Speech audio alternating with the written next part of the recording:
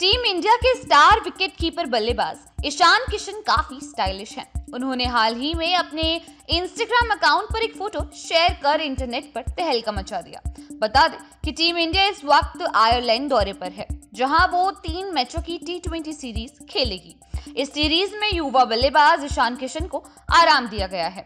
इस बीच उन्होंने अपने नए हेयर स्टाइल की तस्वीर शेयर कर सुर्खियाँ बटोर ली।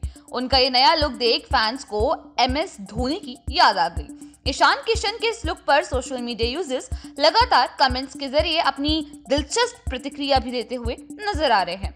उनका ये नया हेयर स्टाइल इस समय काफ़ी वायरल हो रहा है।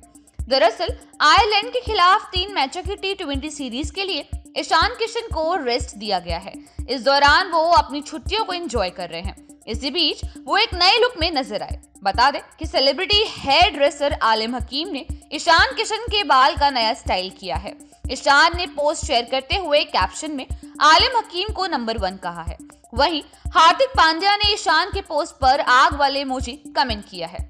ईशान किशन का नया लुक देखकर फैंस को एम एस धोनी की याद आ गई। क्योंकि ईशान ने माही का हेयर स्टाइल कॉपी किया है। धोनी ने आईपीएल 2021 से पहले यही हेयर स्टाइल बनवाया हुआ था। इस दौरान फैंस ईशान के नए लुक पर जमकर मज़े ले रहे हैं। बता दें कि 30 अगस्त से एशिया कप का आगाज़ हो रहा है। ईशान किशन भी इस टूर्नामेंट में खेलते नज़र आ सकते हैं। आपको बता दें कि एशिया कप के लिए भारत ने अभी तक टीम का ऐलान नहीं किया है। हो सकता है ईशान किशन टीम में बैकअप ओपनर के तौर पर एशिया कप की टीम में चुने जा सकते हैं। ईशान के पक्ष में कई सारी चीज़ें जा सकती हैं। सबसे पहली बात तो ये है कि वो बाएँ हाथ के बल्लेबाज हैं। और टीम को टॉप ऑर्डर में ऐसे बाएँ हाथ के बल्लेबाज की ज़रूरत भी है।